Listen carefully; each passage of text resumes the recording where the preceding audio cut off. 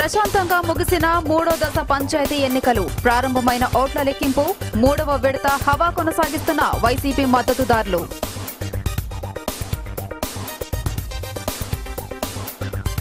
గుణదల ఘటనపై పోలీసులకు ఫిర్యాదు చేసిన వైసీపీ నేత దేవినేని అవినాష్ స్థానిక ఎన్నికల్లో గొడవలు సృష్టించేందుకే టీడీపీ పన్నాగం పన్నిందని ఆరోపణ.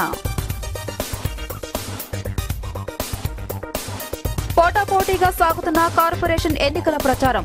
ప్రజలతో మమేకమవుతూ ప్రచారం సాగిస్తున్న అభ్యర్థులు.